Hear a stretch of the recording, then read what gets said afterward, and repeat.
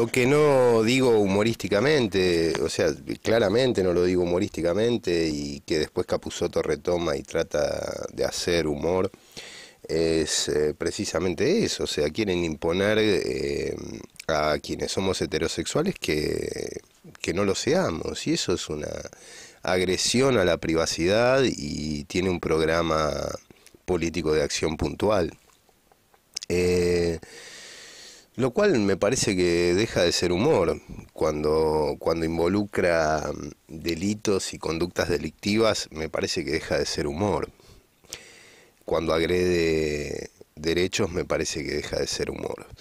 Eh, y a mí me parece que el programa de acción que tienen es ese, ¿no? O sea, no, no, no tiene absolutamente mucho humor que digamos, eh, a no ser que consideremos que el humor se puede ejercer desde desde festejar humorísticamente las acciones de tortura, las acciones invasivas, las acciones de coerción, las acciones delictivas, eh, en fin, si bien tenemos una discusión sobre qué es delito y qué no es delito, no refiere a, la cuestión de vulneración de derechos que uno considera propios, ¿no? O sea, refiere a la cuestión de discusión de derechos impostados.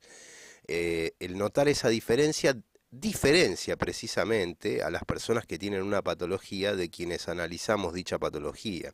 Yo analizo dicha, patología y la denuncio, o sea que evidentemente los que proyectan son los que delinquen en mi contra, lo cual genera que un caso se resuelva por sí mismo en la conducta comunicacional y política, ¿no?